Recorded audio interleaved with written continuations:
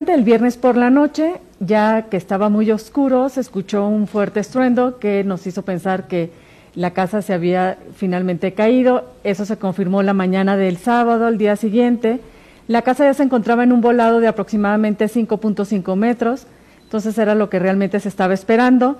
Eh, se han identificado nuevas fisuras en el terreno, lo que nos va a llevar a valorar el día de hoy el poder aumentar el perímetro de seguridad en la zona. El eje menor tuvo un aumento en su dimensión, ahora mide 122 metros, el eje mayor